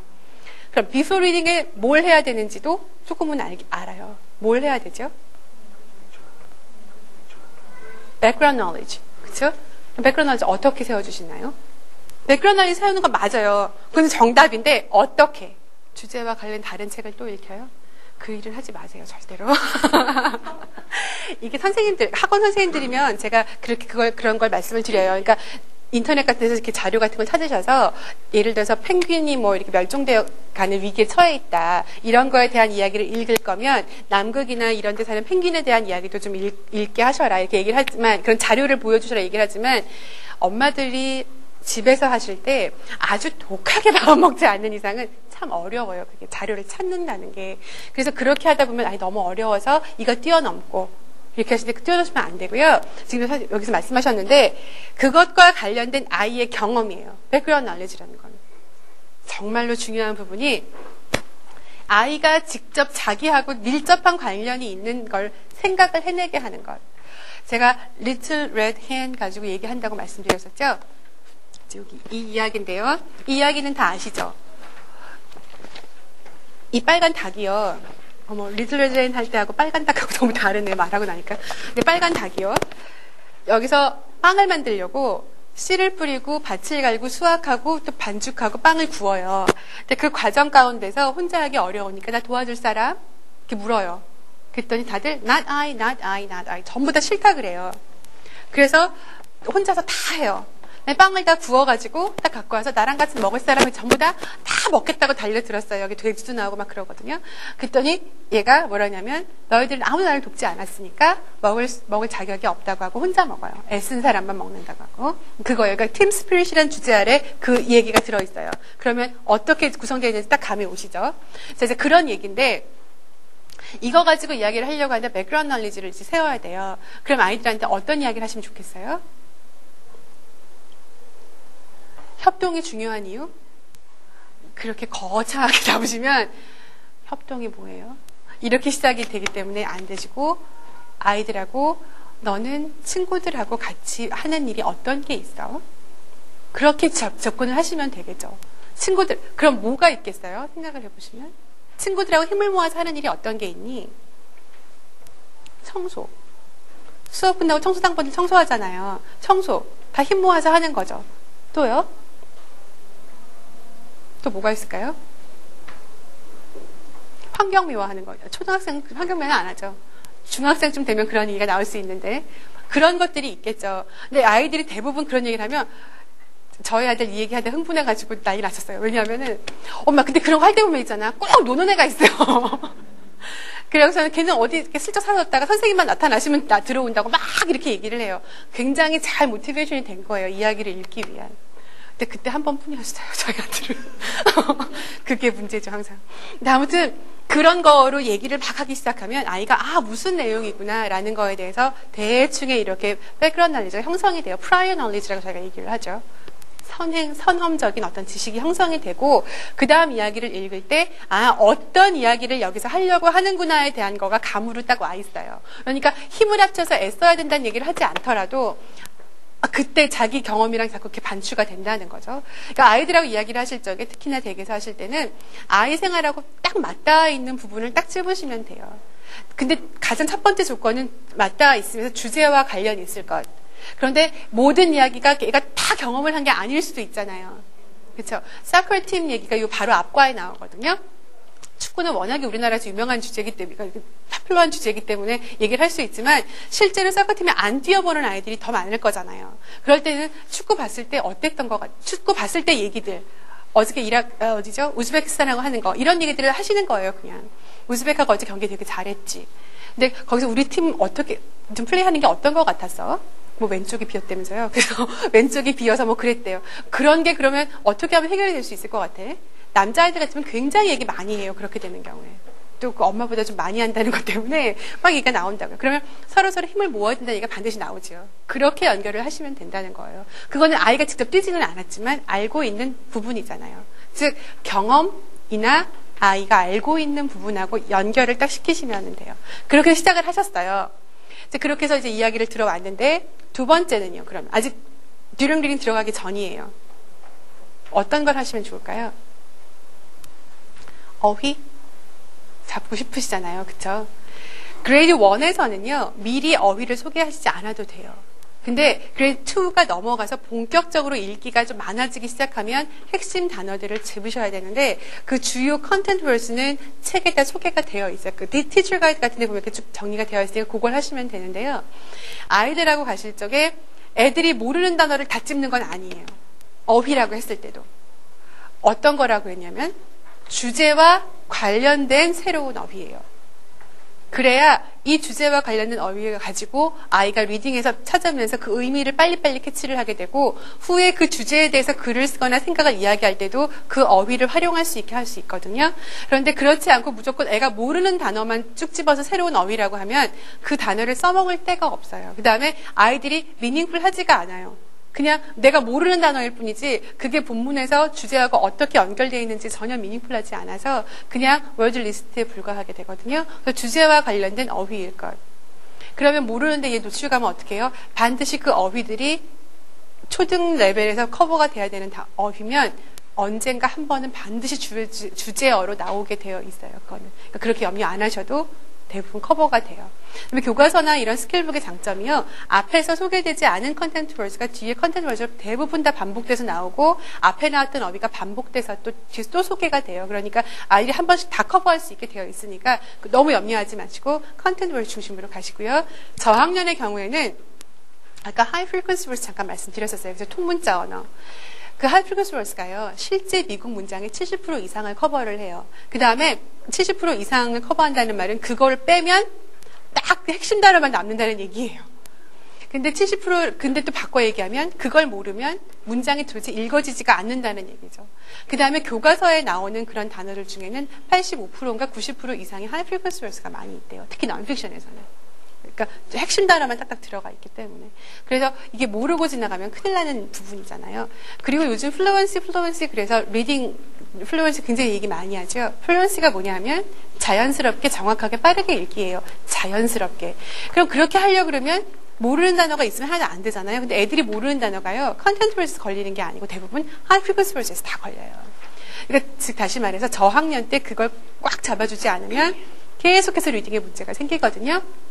근데 그 부분들이 거의 모든 교과서 프로그램에서 1학년에서 다 커버가 돼요. 그리고 필수 100단어가 있어요. high frequency words 중에. 걔네들이 다 소개가 되거든요. 그래서 1학년 때에는 이 high frequency words를 소개를 해주시는데 이 Literacy Place에서 특별히 각 과마다 high frequency words를 몇 개씩 소개를 하고 있어요. 거기에 대한 practice book이 있고요. 그거 가지고 연습을 하시면 돼요. 같이요. 자, 그거, 근데 이제 그거를 before reading 단계에서 어떻게 할 거냐면 걔네들을 책에서 미리 찾아보게 하시는 거예요. 예를 들어서 이제 여기 책에 보시면 asked into little me라는 네 개의 하이프크스 월스를 가르치려고 지금 해요. 그러면 이 이야기 이 본문 중에서 asked into little me를 찾아서 밑줄을 긋게 하시던 동그라미를 치게 하시던 일단 이렇게 표시를 하게 해놓는 거예요. 아이가 직접. 그러고 나서 읽게 되면 그 부분을 자꾸 눈이 가겠죠. 그다음에 걔네들은 L-I-T-T-L-이니까 little 이렇게 있는 게 아니라 그냥 little이에요. 그거는 그냥. 그러니까 그런 식으로 통문자로 계속 알게 하시는 것. 그 부분을 하시려고 before reading 단계에서는 아이하고 책에서 찾게 하시면 돼요. 그 다음에 이제 많은 분들이 뭘 하시고 싶어 하냐면 읽기 전에 한번 듣게 해줘야지. 이렇게 생각을 하시잖아요. 근데 여기서 오디오가 먼저가 아니고요. 반드시 엄마가 먼저 읽어주는 게 먼저예요. 그래서 어휘, high frequency를 소개하는 것까지가 before reading으로 끝나시면 돼요. 그리고 나서 during 넘어오시는데 통상적으로 reading을 가르칠 때 다섯 번을 읽게 해요. 다섯 번을 읽게 한다는 건 다섯 번만 읽는 게 아니고요. 다섯 번을 특별한 가이드를 주고 읽게 한다는 뜻이에요. 그러니까 그 이상 더 많이 읽겠죠. 스스로 읽고 하는 거는. 그런데 다섯 번을 읽는 동안에 각각의 그 목적이 다 다른데요. 지금 이 부분에서 다섯 번, 그러니까 independent reading까지 가게 하시기는 조금 지루한 면이 엄마한테 생길 수 있어요. 엄마가 아까 말씀드린 대로 선생님이기 때문에 프로를 많이 갖고 있지 않은 전제에서는. 그래서 이럴 때 세 번까지는 기본적으로 꼭 같이 읽게 하시는 거예요. 가이드를 주고, 즉, 따라 읽게 하시던, 소리를 내서 같이 소리 맞춰 엄마랑 나랑 읽던, 애랑 읽던, 아니면 혼자 읽게 하시던, 소리를 내서 전제가.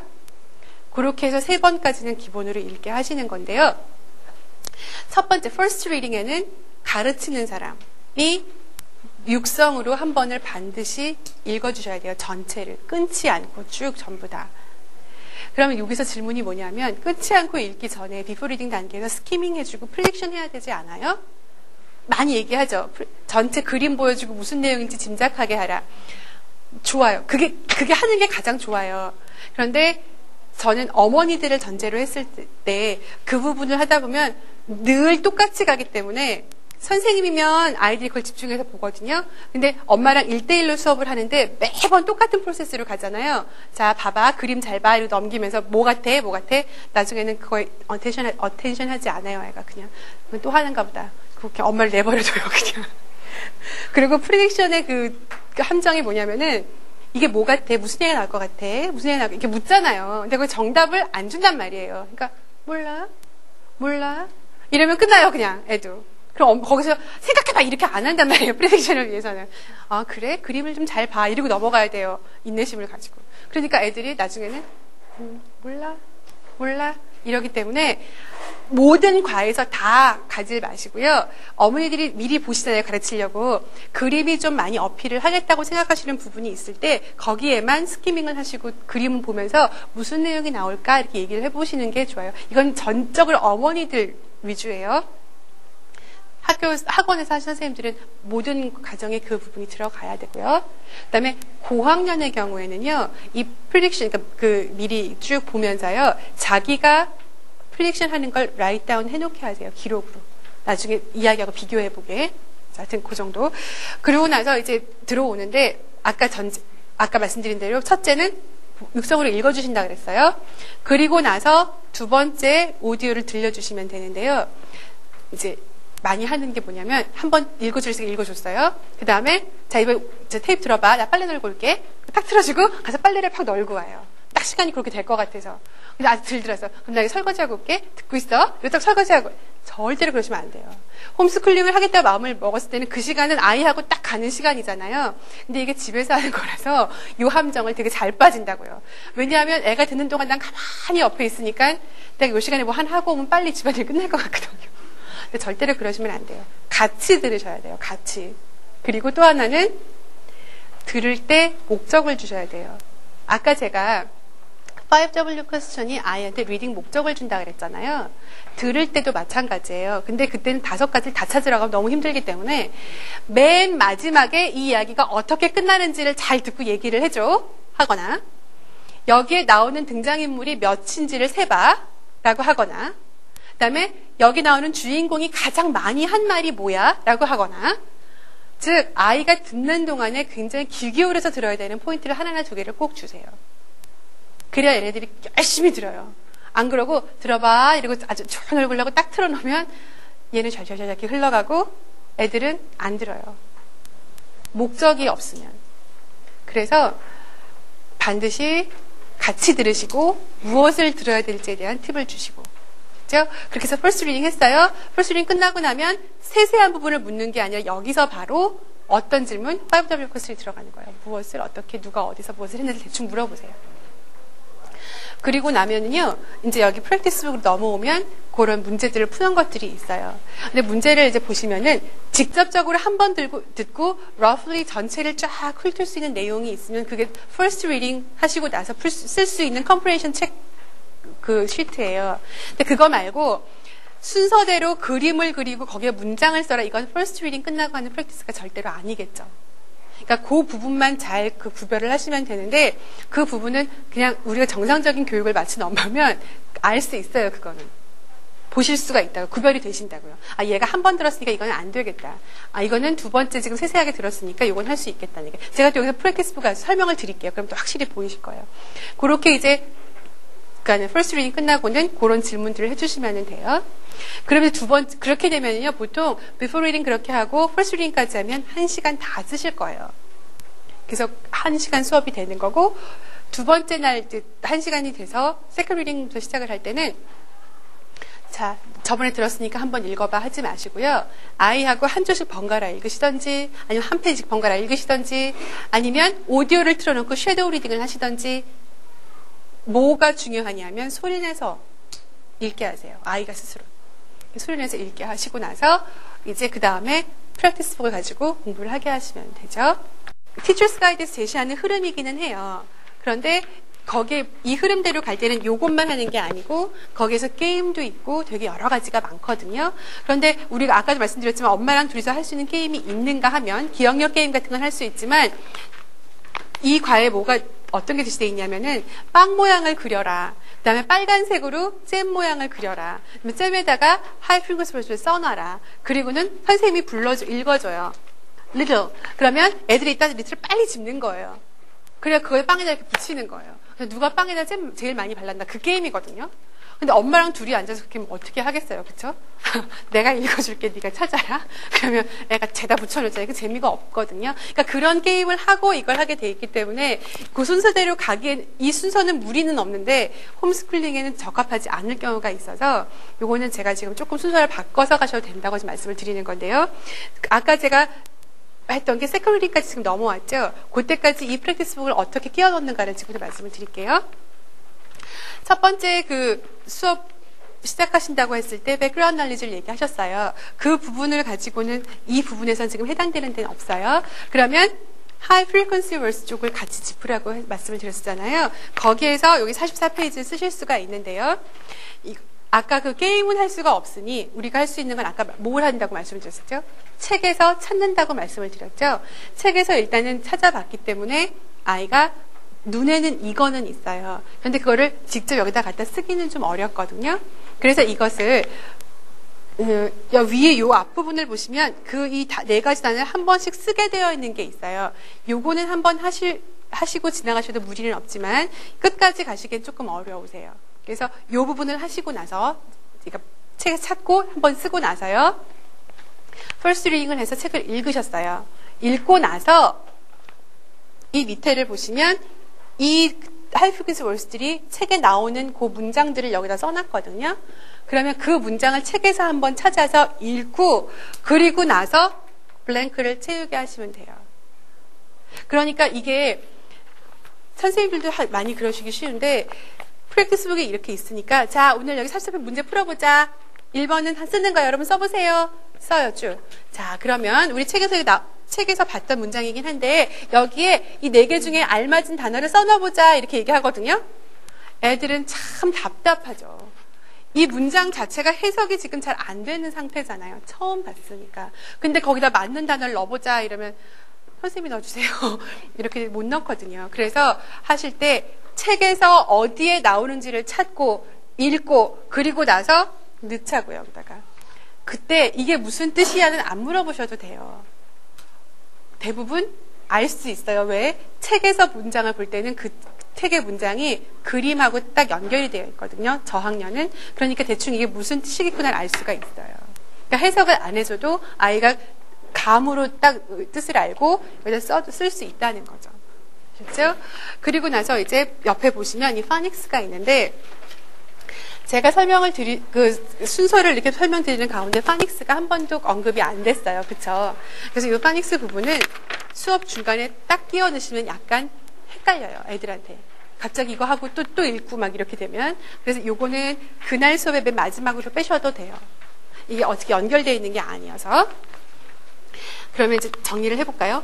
background knowledge 얘기를 했어요. 그 다음에 high frequency words 갖고서는 책에서 찾고, 그 다음에 한번 읽고, 이 문제를 풀었어요. 말씀드린 방법대로. 그리고 나서는 다시 책을, 책에 대해서 질문을 해요. 이제 뭐 누가 나왔고, 어디에서 나왔고, 이런 얘기를 했어요. 그리고 나서 수업이 끝날 무렵이 됐을 때, 자, phonics가 여기는 지금 QU sound를 다루거든요. 퀘, 퀘, 그것 때문에, 책에 있는 퀘, 퀘 때문에, 하 프리버스랑 똑같아요. 이 방식이. 여기서 지금 QU가 크, 크 소리가 나잖아요. 그 소리가 난다고 얘기를 해주시고, 일단은 얘네들을 보여주시기 전에 책에서 QU로 시작하는 단어를 찾아서 High Frequency Words와 다른 형태로 체크를 하게 하세요. High Frequency Words를 동그라미를 치게 하셨으면 얘네는 밑줄을 긋게 하시던지 요는 뭐냐면 아이가 읽고 있어서 의미가 굉장히 있는 미닝풀한 텍스트 안에서 모든 걸 해결하려고 지금 애를 쓰는 거거든요. 그래서 그 책 안에서 이 사운드가 어디가 나오는지 찾아서 체크를 해놓는 거예요. 그리고 같이 콱콱콱 읽어보죠. 그리고 전 소리가 콱콱 소리가 난다는 거를 얘기를 한번 언급을 해주시고 나서는 이제 일로 넘어오세요. 그럼 여기에 지금 다섯 개, 네 개 단어가 쭉, 다섯 개 단어가 지금 쭉 있는데, queen, quick, quack, quilt, quiz예요. 여기 이 단어 중에서 아이들이 모르는 게 더 많아요. 그쵸? 그래서 지금 애들한테 가라고 잘 이해를 하라고 이렇게 지금 그림하고 매치를 시켜놓긴 했어요. 그런데 여기서 하시지 않았으면 제가 권하는 거는 이 단어 외우기 시키지 않으셔야 된다는 거. queen, queen 실컷 가르쳐준 다음에 자 queen은 여왕이다 이거 외워놔. 그렇게 했어요. 그 다음에 시험 보고 그러면 안 돼요. 이 단어들은 어디까지나 뭐 때문에 나왔냐면 사운드 인지 때문에 나왔어요. 그러니까 그 sound가 들어가는 소리를 인지하고 물론 뜻까지도 알면 더 좋지만 quilt가 머리에 절대로 안 들어온단 말이에요. 애들 머리에. 예를 들어서. 근데 quilt는 이거라고 계속 강조를 하면은 sound가 빠져나가고 quilt만 남아요, 머리에. 그러나 파닉스를 한 게 아니거든요. 그래서 소리 쪽에 집중을 하셔서 이 문제를 간단하게 풀어보시면 돼요. 그래서 여기는 그래도 괜찮아요. 근데 그 다음 장이 뭐냐면 여러분 이거 없으시죠? 그 다음 페이지가 다음 페이지 46페이지가 뭐냐면요. 이 파닉스에 나왔던 단어를 가지고 문장을 완성하는 거예요. 근데 이 문장이 단어 책에 나와서 나왔냐면 아니에요. 첫 번째 문제가 뭐냐면 Sam can't blank work until 6예요. 그러면 blank에 뭐가 들어가야 되냐면 quit이 들어가야 돼요. 근데 이게 영어로 말을 할 수 있는 그러니까 모국어 같으면 quit이라는 단어를 그냥 쓴단 말이에요. 그러니까 이렇게 reading으로 풀 수가 있어요. 그 다음에 Sam can quit work until 6가 무슨 뜻인지 알아요, 애들이. 그쵸? 말로는. 근데 우리 애들은 모른단 말이죠. 근데 거기다가 이게 해석이 뭐냐면 쌤은 6시까지 일을 끝낼 수가 없어요. 그게 무슨 뭐가 올까? 이렇게 하면 애들이 어떻게 알아? 답답하죠 그때는. 그러니까 또 역시나 소리 집중이 안 되고 내가 모르는 단어 나왔어 이렇게 된단 말이에요. 그럼 파닉스를 가르치는 게 아니어서 이 부분을 운영하시는 방법이 뭐냐면은 문장을 읽어주세요. 그냥 Sam can't quit work until 6. 또박또박 한번 읽어주시고 Sam can't quit work until 6 이렇게 해서 읽어줬어요. 그리고는 블랭크에 들어간 단어를 쓰게 하시면 돼요. 근데 뭐 때문에 하냐면 소리를 들었잖아요. 소리를. 그렇게 한 다음에 이게 무슨 뜻일 것 같냐고 물어보시면 돼요. 그러니까 해석을 해서 넣는 게 아니고요. 소리에 집중하게 만드시라는 거예요. 이게 근데 한국 사람들 취미에 참 안 맞는 행동이에요, 이게. 그 제가 늘 얘기하는 그 닥터스스 책이 안 되는 이유가요. 걔네는 절대로 의미 베이스가 아니거든요. 소리로만 자꾸 듣는 건데 해석을 하면 웃긴단 말이죠. 그게 말이 안 돼요. 그러니까 아 뭐야 이게 해석을 해줄 수가 없잖아. 이거 읽지 마 이거. 그리고 다른 책을 의미가 통하는 책을 보여주시는데 그게 정말로 위험한 것이 그 책은 rhyme을 가르치기에 너무너무 좋은 책이거든요. rhyme을 가르친다기보다 rhyme을 노출시키기에 그 the man, in the big cat인가 그 영화도 있었잖아요. cat, hat 우리가 mad, hat 해갖고 쫙 리스트 하는 것보다 그 책에서 그렇게 한 번 듣는 것이 훨씬 기억에 오래 남단 말이에요, 애들은. 이거 굉장히 중요한 것인데 해석이 안 되니까 그걸 그냥 넘어가, 넘어가, 넘어가. 그린 엑센엠 다 넘어가요. 그 책 굉장히 재미있어요, 사실 사운드로 들으면. 근데 그런 그, 그 그런 욕구가 있거든요. 해석을 해야만 해. 근데 이 부분을 그렇게 가져가시면 아까 말씀드린 대로 소리 집중이 절대 안 되기 때문에요. 차라리 문장을 다 읽어주시고 거기에 들어가는 걸 아이들 소리를 듣고 쓰게 하시고 그리고 나서 의미를 물어보세요. 그냥 그렇게 하시면 훨씬 더 잘 응용하실 수가 있어요. 이렇게 하시면 그 수업의 끝에 꼭 phonics를 한번 해주시는 거죠. 그렇게 가시면 되고요. 맨 second reading을 했어요. 이제 두 번째 날 수업이 됐어요. 그래서 같이 크게 읽었어요. 읽고 나서 하실 수 있는 게 여러분 47페이지 갖고 계시죠? 보면 busy busy 하고 draw a picture to show one of the things the little red hen does in the story예요. 자, 이거는요. 위에는 보면 hen이 한 일 중에 하나를 그리는 거고요. 밑에는 hen이 아닌 다른 동물을 하나 골라서 쓰는 그러니까 dog이나 cat이나 pig을 해가지고 하나 그리는 거예요. 그런데 이거는요, 전 지금 second reading 하시고 해도 된다고 얘기를 했지만 상황에 따라서 아이가 잘 따라오는 경우에는 first reading 하고 하셔도 돼요. 왜냐하면 전체적으로 한번 쫙 다 얘기를 들었잖아요, 아이가. 그리고 나서 네 머리 남는 것 중에서 hen이 했던 것도 하나 그려라. 나머지 했던 거 그려라. 이렇게 하면 되니까요. 그렇게 쓰셔도 돼요. 그러니까 어디에 practice book에 어떻게 들어 이렇게 페이지를 활용하시는지 이제 아시 조금 감이 잡히시죠. first reading 때 이거, second reading 때 이거가 아니고 이 같은 practice book 페이지를 가지고도 아이한테 맞춰서 first 때 들어갈 수도 있고 second 때 들어갈 수도 있어요. 근데 저는 사실은 보통 기본적으로 권하기는 first reading 때 많이 권하는 편이에요. 전체적으로 들었으니까 전체적인 내용 중에서 아이들 머리 남는 게 있거든요. hen이 여러 가지를 했지만 그 중에 하나 그리면 되니까 하면 돼요. 이제 그 다음에 문제가 그 다음에 나오는 건데 Which character did you like best? 라는 질문이 있어요. 이 부분은 애들이 대부분 뭐라고 대답하냐면요. 헨이라고 대답을 해요. 애들 머릿속에 헨은 착한 일을 한 것 같고 나머지는 안 도와줬으니까 나쁜 일을 한 것 같거든요. 근데 헨이라고 얘기했을 때 그래 잘했어 하고 넘어가시지 말고요. 그러니 나는 픽도 괜찮은 것 같던데 대신에 그렇게 해서 이유가 있어야 돼요 거기에 얘기를 해줄 수 있는 이게 그렇게 더운데 일 안 하고 좀 쉴 수도 있는 거잖아. 뭐 나는 그리고 like best니까 난 돼지가 제일 좋긴 하더라. 맛도 있고. 이게 전 농담이에요. 제일 좋긴 하더라. 또 고양이를 좋아하는 사람 같으면 캣이 나오니까 난 고양이가 제일 좋더라. 그럴 수 있어요. 그러면 아이들도 그 다음부터는 그 다음부터는 그렇게 자꾸 가르치는 사람이 자신의 생각을 이야기를 조금씩 조금씩 해주면은요, 아이가 틀에 박힌 생각에서 약간씩 좀 자기 생각을 넣기 시작을 해요. 그 동양 아이들의 가장 큰 특징이 창의력이 없다는 거. 다 생각은 하는데요. 그 생각을 머리에만 넣고 있고 절대로 말을 안 해요. 말은 정답만 얘기하잖아요. 그러니까 재미가 없지요, 항상. 근데 우리가 목, 목매어 부르짖는 창의력은 너만의 독특한 생각이 아니고 자신의 생각 얘기하는 데서 나오는 거고요. 그 다음에 생각을 할 수 있는 방법을 얘기해 주는 게 이 주제에 맞게 판에 박힌 대답을 하지 않아도 용서가 되는 허용 용서가 아니라 용납이 되는 거예요. 그러니까 그렇게 생각을 하시고 이런 질문들이 나올 때 꼭 정답같이 생각 정답은 아니죠. 누가 어떤 게 제일 좋아하는데 거기 정답이 어디 있어요? 그러니까 정답 같이 들리는 얘기를 했을 때 조금 다른 시각에서 볼 수 있도록 지도를 하시는 것이 되게 중요하죠. 선생님들도 이걸 하실 수 있는데요. 엄마들이 이렇게 얘기를 하셨을 때 아이들이 오히려 더 반응이 신, 신기하게 생각하고 더 빨라요. 우리 엄마는 나한테 맞는 것만 얘기하는 줄 아는 사람으로 생각을 했었는데, 어, 아닌 얘기도 한다. 그렇게 되면 얘기가 훨씬 자유로워지죠. 그게. 그런 부분 보시면 되겠고. 그 다음에 48페이지 갖고 계세요? 48페이지를 보시면 이게 책에 나온 이야기들을 순서대로 지금 한, 배열을 해보는 거예요. 중간에 빠진 부분 그림을 그려 넣는 거거든요. 이거는 내용을 속속들이 좀 알아야겠죠. 근데 이건 second reading 끝나시고 하시면 되는데 second reading을 아까 소리내서 같이 한번 읽어보시라고 그랬어요.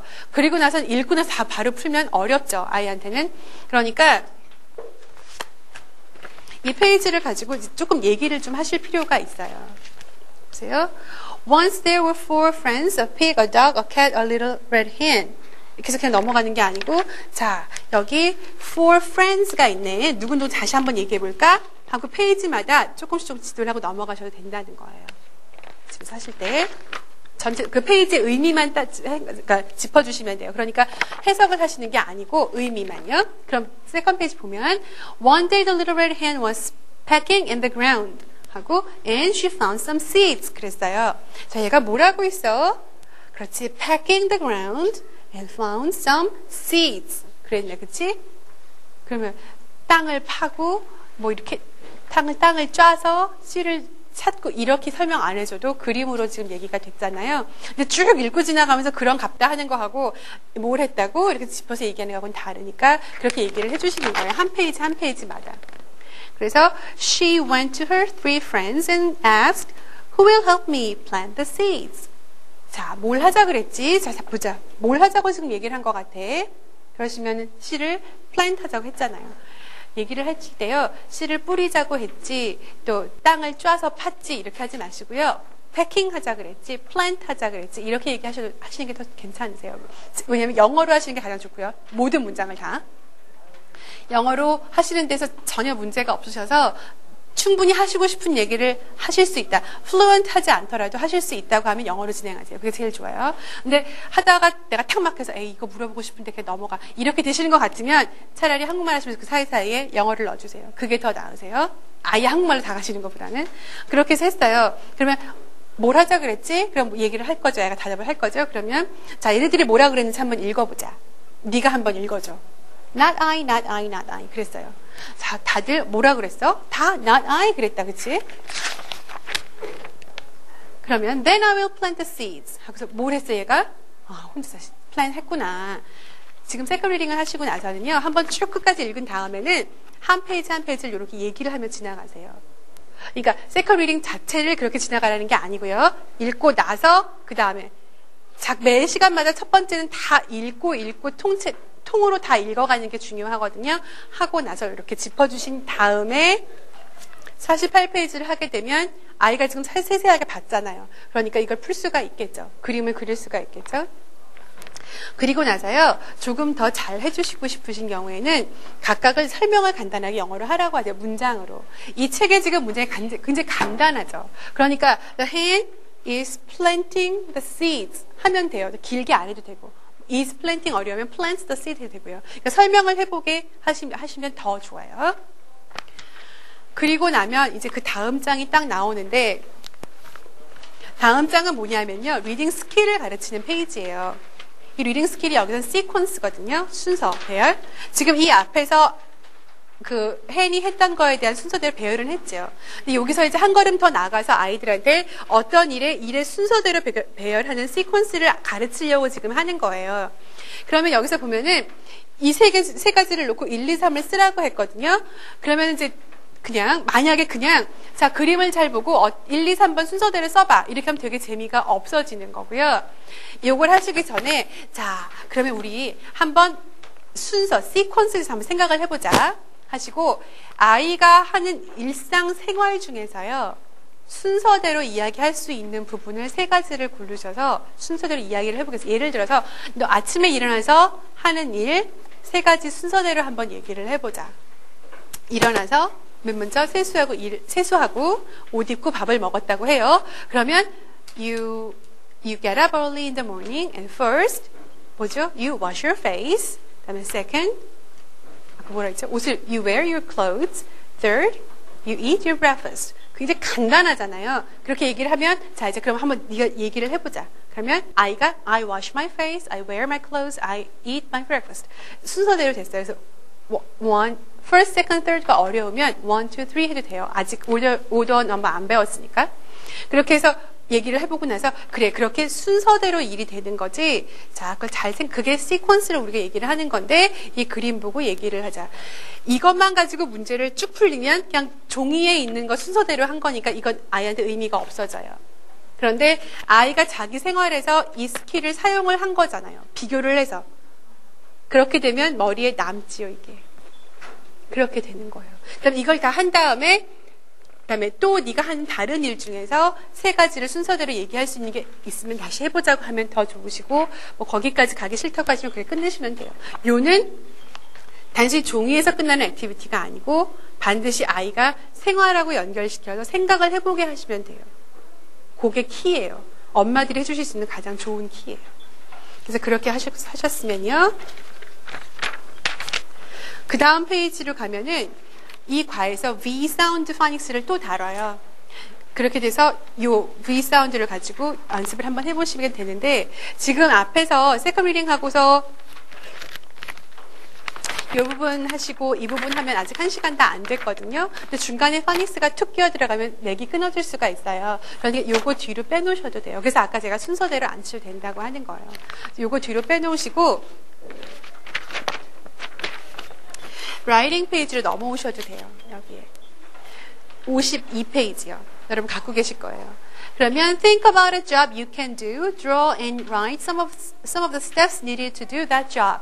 아까 앞에서 1, 2, 3 하면서 뭐 했어요? 아이 생활하고 연결시켜 가지고 우리 얘기했었죠. 그거를 여기다 옮겨 적는 거예요. 그림 그리고 문장으로요. 그러면 똑같은 거 자꾸 반복하네요. 반복을 해줘도 그거 따라와 주면 참 고맙잖아요. 근데 지금 방, 방법이 말로 한 번 했었고, 내가 말을 해줬었고, 아이가 들었고, 아이가 스스로 말을 한 번 했었고, 그 다음에 여기다 적는 거죠. 그렇게 해서 3단계를 거쳐왔어요. 다 같은 일이지만, 그렇게 해서 그렇게 같은 걸 가지고 skill을 듣고도 했었고, 말로 표현도 했었고, 쓰기도 했어요. 그렇게 넘어오시면 되세요. 이 페이지 그렇게 활용하시면 돼요. 있어요. 문장 쓰는 게 너무 어렵다고 처음 하는 아이라서 어렵다고 하시면 1.3 정도 되면 writing을 하실 수 있어요. 그러니까 Literacy Place가 쭉 넘어오셨으면. 근데 이제 난 여기부터 시작을 할 건데 우리 애는 writing을 아직 못했다고 하시면 같이 같이 써주세요. 그러니까 쓰, 보고 쓰게 하셔도 되고요. 아니면 아이가 중요하게 하는 행동, 동사 있죠. wash 이런 것들만 그만 blank 해놓고 나머지는 써주셔도 돼요. 1학년 경우에. 2학년이나 3학년인데 이, 책을 하실, 할 수도 있잖아요. 그런 경우에는 보고 쓰게 하시는 게 더 나으세요. 다 쓰게요. 자, 그렇게 했으면 세크리딩과 관련된 전체적인 건 다 한번 내용과 관련해서는 했어요. 그리고 나면 third reading 하셔서 아이 스스로 글을 한번 읽게 하세요. 처음부터 끝까지 혼자서 그렇게 하시면 두 번 two classes for one unit 했던 건 끝이 나신 건데 그러다 보면 되게 많이 뭐가 남아 있죠. 이제 이거는 아까 말씀드린 phonics하고 study skill하고 연결된 부분들이 있어요. 그래서 그거 이제 어떻게 하실지 설명을 드릴게요. 지금 한 번 마지막 third reading까지 다 하게 하시면 한 시간이 거의 다 차요. 이제 쓰고 막 했기 때문에 그러면 오늘 마지막에 소리 하나만 더 배우자고 하시고 아까 V sound 나왔던 이 부분을 가시는데요. 이 파트 들어가시면 그림에 대해서 이름을 이렇게 쭉 쓰게 되어 있어요. 근데 여기 보면은 어떤 것도 자기 글을 다 쓰는 게 아니라 V로 시작하는 단어에만 V를 쓰게 돼 있거든요. 그러면 이거 이 털실 뭉치는 아이가 만약에 yarn이라고 하는 걸 모른다고 하면 네가 보고서 쓰라고 하면 쓸 수가 없잖아요. 그런 경우가 있다고 하면 소리를 내서 읽어주세요. one van van 잘 들어봐 소리가 되는지 지금 파닉스는 소리하고 글자하고 연결시키는 거죠. 그러니까 소리가 계속 들어 들려줘야 돼요 아이한테는. 네 머릿속에 있는 사운드를 끄집어내봐 할 수가 없어요. 안 들어있기 때문에. 그러니까 읽어주세요. van, vest, volcano, violin, yarn, 그건 또 뭔가 vacuum. 그래서 읽어주시면 소리가 들리면 V를 쓰겠죠 아이가. 그렇게 해서 그러니까 소리를 내주시면 되고 이 밑에 것도 위에 나오는 여섯 개 중에서 다섯 개를 네 개를 지금 쓰는 거거든요 여기다가 그러면 다시 van, vest 계속 읽어주시고 아이가 쓰게 하시면 돼요. 네, 스펠링을 다 모른다. 예를 들어서 여기 지금 뭐 바이올린 스펠링을 모르겠다 그러면 V 빼시고 나머지는 적어주셔도 돼요. 여기, 여기 지금 밑에 뒤에 나와 있는 것처럼. 그렇게 해서 보시고 그 다음 가면 이게 또 비슷한 건데 V로 시작되는 단어를 포함해서 문장을 언스크램블 하는 거예요. 근데 아직 스트럭처가 머리에 정확하게 안 잡혀 있는 애들 같으면 Pam is a vet이란 문장이 절대로 안 나온단 말이죠. 그래서 역시나 읽어주세요. Pam is a vet. He can fix his van. 그리고 아이가 잘 듣고 근데 쓸 때 옆에서 자 Pam is a vet이 아니고요. Pam is a vet. Pam is a vet. 하고서는 문장 전체를 두 번 읽어주시고 아이가 잘 생각해서 문장을 쓰게 하시는 거예요. 그러니까 어떻게 하는 건지 이해가 되시죠? 아이가 모른다고 하나하나 단어를 불러주시라는 게 아니라 문장을 불러주시라고. 그렇게 하면 sound가 들어있는 이 사운드, 그러니까 phonics도 가르치지만 structure도 같이 머리에 들어가죠. 아이가 시, 기억을 해야 되니까. 그래서 그렇게 하시면 되고, 그 다음에 쓰는, 분명히 나는 Pam is a vet이라고 읽어줬구만. Pam is vet이라고 쓰고 어를 어디다 써야 될지 모르면서 막 그러고 있으면 내가 Pam is a vet이라고 그랬지 이렇게 하시는 게 아니고 거기다가 자, 보통 명사 앞에는 그러니까 보통 뭘 나타내는 이름 앞에는 어라는 게 붙거든. Pam, 다 잘 들어봐. Pam is a bat이야. 어디다 넣으면 되겠니? 그렇게 요는요, 윽박지르지 마시라는 얘기를 하려고 하는 거예요. 나는 잘 읽어줬구만. 그 다음 문장 같은 경우 보면 he can fix his van이거든요. 그럼 이거 he can fix his van이면 스가 많이 들어간단 말이에요. 그러니까 애가 잘안 들려요. 이게 헷갈리고. 그랬을 적에 내가 응 그렇게 읽어줬구만. 잘 들어봐! 이렇게 하면 또 금가죠, 사이가. 한 게 아니고 계속 문장 전체를 반복해서 읽어주시고요. 정해가 디멘딩에서 못하겠다고 하면 처음 하고 처음에 he is, 뭐 he can 이 정도는 써주세요. 이건 좀 저학년이니까 그렇게 하시라고 하는 거예요. 예.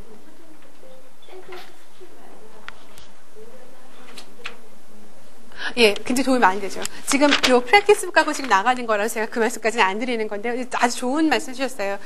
조금 더 여력이 되셔서나 우리 아이랑 이거 structure 잘해보고 싶다고 하시는 경우에는 말씀하신 대로 sentence strip을 만드세요. 종이에다 이렇게 하셔가지고요. 단어 다 이렇게 잘라가지고 섞어가지고 이렇게 배열해보게. sentence structure 가르치기 굉장히 좋은, 예, 좋은 활동이에요. 그 정도는 엄마랑 아이가 같이 할 수 있는 게임으로도 활용 가능하시죠. 이 부분들이 가이드에 나와 있어요. 그러니까 이 과에는 아니지만 다른 과에 그런 걸 하시라고 그러면 잘 봐주셨다가 아이하고 할 수 있는 걸 가져다가 응용해서 많이 하시면 되게 좋은 지적하셨어요. 그 다음에 아이들 문장이 길어지면 이왕 얘기가 나왔으니까요. 문장이 길어지면요. 단어 하나하나씩 자르지 마시고 구로 자르세요. 구로. 그렇게 하면 아이가 훨씬 잘 이렇게 맞춰요. 그러니까 스트럭처를 빨리 이해를 한다는 얘기죠. 그렇게 해서 보시면 돼요. 그렇게 해서 왔고, 그 다음에 여기에 뭘 하라고 줬냐 하면, 얘가 그래머를 가르치려고요. 여기다 linking verbs라는 걸 넣어놨어요. 여기요. 그런데 그래머를 따로 가신다 그러면 뭐 굳이 여기서 이걸 꼭 하시려고 권하지 않겠고요. 만약 그래머를 안 하신다 그러면 이거는 이제 second reading까지 해서 스토리에 관련된 걸 모두 끝을 낸 다음에 한번 쭉 풀어 가시는 걸로 가셔도 돼요. 그런데요. 스토리가 끝났다고 스토리를 완전 버리시는 게 아니고요. 얘네들은 특별히 이제 섹션들을 빼서 하시잖아요. 하더라도 얘가 스토리와 관련된 부분이 어디 있는지를 끊임없이 생각하셔서요. 만약에 linking verb가 여기 Little Red Hen 책 안에 나오는 부분이 나오는 부분이 있거든요. 나온다고 하시면 책에서 아까 단어 찾듯이 그렇게 표시하게 하시는 것도 참 많이 도움이 돼요. 아이들 기억하는 데에는. 그래서 그렇게 보시면 되겠고, 그리고 여러분 안 갖고 계시는 페이지 중에 54페이지가 보면 W, U, 그러니까 모음에 대한 phonics가 들어있어요. 이것도 마찬가지로 그 아이하고 본 수업 하기로 했던 그거에 맨 마지막으로 빼셔가지고 파닉스 쭉 짚어가시는데 하나 넣으시면 돼요. 아까 V 사운드 하시면서 U 같이 넣으시면 되고요. 그다음에 이제 맨 마지막에 보시면 모든 과에 리뷰 페이지가 이렇게 하나씩 들어있어요. 근데 이런 거 많이 보셨죠? graphic organizer. 많이 눈에 익으실 텐데 이거는 second reading 다 한 다음에요. writing으로 연결시키기 위한 섹션이에요. 그래서 여기 보면 beginning 있고 middle 있고 엔딩 해놓고 앞뒤는 채워주고 middle 부분만 써넣게 했거든요. 그래서 이걸 순서대로 이제 그림 없이 순서대로 문장으로 이렇게 쓰는 거예요. 이건 writing 연습이에요. writing이면 내가 내 글을 다 써야지 아니고 주어진 소스를 가지고 정리 writing을 정리하는 것도 writing이 굉장히 좋은 연습이니까 이거 그렇게 마무리로 쓰시면 되세요. 리뷰 페이지는 말 그대로 그렇게 해서 쭉 보시면 되시고요. 1학년 아이들 처음 1학년 들어가서 하는 아이를해서 이걸 다 쓰기 참 어렵다 그러시면 그림으로 그리고 거기에 쓰게 하셔도 괜찮아요. 근데 1학년이 아닌 경우면은 될 수 있으면 문, 마지막은 문장으로 가게 하세요. 그리고 이제 문제 study skill이 맨 마지막에 나오는데 이게 아까 말씀드린 대로 school supplies 그래서 이렇게 이제 쭉 해놓고는 this ad for 이렇게 돼 있어요. 그러니까 이 광고가 도대체 뭐에 대한 광고 문의겠느냐라고 하고 pens cost 얼마 여기에 대한 정보를 이제 기록을 하는 거거든요. 근데 이걸 시키는 이유가요. 이거를 분석 어려 말이 분석이라고 어려워서 그렇지 어쨌든 분석을 한 거거든요. 그럼 나중에 후에 이런 종류의 글을 쓰게 하는 기초를 닦으려고 지금 study skill을 넣은 거예요. 그러니까 이왕 나왔는데 버리기 아까워. 이러면 맨 마지막 이 한 과를 마무리하는 맨 마지막에 한번 짚어주셔도 되고 아니면 skip하셔도 되세요. 이거는. 괜찮으세요? 그렇게 해서 하시면 지금 reading process에 맞춰서 이 practice book이 다 어디에 들어가는지가 한 번씩 다 짚어졌어요. 되셨죠? 그럼 마무리로 good question에 대한 얘기만 좀 할게요.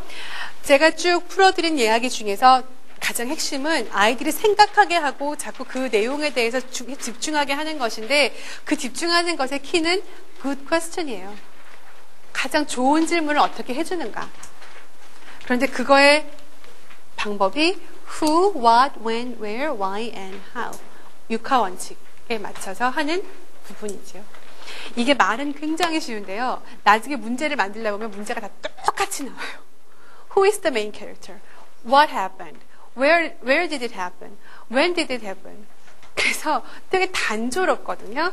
근데 물론 단조로워도 생각을 안 하는 것보다는 괜찮지만 이 질문들은 기본적으로 육하 원칙으로 가는데 여기 질문 하나하나 굉장히 구체적으로 갈수록 좋아요. Who is the main character가 아니라 누가 가장 중요한 캐릭터인 것 같아. 여기는 Little Red Hen이겠죠. 그 다음에 나머지 세 친구들은 그냥 나오는 sub character예요, 사실은. 그렇죠? 그런 부분들 구별해 보는 것도 필요해서 who is the main character하고 who is the second character or sub character라고 물어보시는 것도 1학년은 힘들어요. 아직 사과 거기까지 안 갔으니까. 그런데 고학년으로 올라갈수록 2학년, 3학년 올라갈수록 이 부분들은 질문을 더 세세하게 나눠주시는 것이 굉장히 필요해요. 그 다음에 이렇게 이야기가 한 큐에 그냥 쭉 끝나는 것 같으면 when did it happen, where did it happen이 굉장히 쉬운데 그렇지 않고 얘기가 긴 경우가 있죠. 9학년, 3학년, 4학년 되면 얘기가 길어지면 장소 이동이 있잖아요. 그럼 그거 순서대로 다 물어보시는 게 맞, 물어보시는 거 잊지 마세요. 근데 when did it happen? 그리고 순서대로 얘기해봐. 이렇게 하시면 되게 복잡해서 힘들어서 안 되고요. 첫 번째 부분은 어디서 일어났지? 그 다음에 어디로 움직였지? 아주 구체적으로 자꾸 손을 하나하나 잡고 가신다고 생각을 하셔야 돼요. 그냥 단순하게 내가 어디에서 일어났는지 순서대로 얘기해봐. 그럼 애가 어련히 알아서 이렇게 얘기를 하겠거니 그것도 훈련이겠거니 이렇게 착각을 하시면 안 되고요. 처음에는 다 손잡고 다녀주셔야 돼요. 그래서 아주 구체적으로 질문할 것. 그래서 그게 아이한테 숙달이 되면 그때 가서 한 4학년, 5학년 책을 읽게 된다고 하면 그때는 순서대로 네가 정리를 해봐. 이렇게 딱 그냥 문제만 던지셔도 아이가 찾아갈 수가 있어요. 근데 그 전까지는 손잡고 다닌다고 생각하셔야 돼요. 그래서 질문은 아주 구체적일수록 좋다는 거예요. 그죠? 심지어는요, red hand, 이게 little red hand 해놓고는 어떤 hand이라고? 라고 물으시는 것도 아주 구체적인 질문이에요. 아이가 들어야 되거든요. 그건 알아야 되고. little red hen. 그런 것들. 그다음에 what was what에서 what happened가 다가 아니에요. What was the question of the three friends? 그것도 질문이 된다고 해요. 아주 구체적으로 들어가 주셔야 되는 거 잊지 마세요. 제가 구체적으로 해야 된다고 한 일곱 번 얘기한 것 같아요. 절대로 잊으시면 안 돼요. 자, 여기까지가 Literacy Place를 댁에서 아이하고 잘 하실 수 있는 전체적인 홈스쿨링 교재로서의 방법이에요.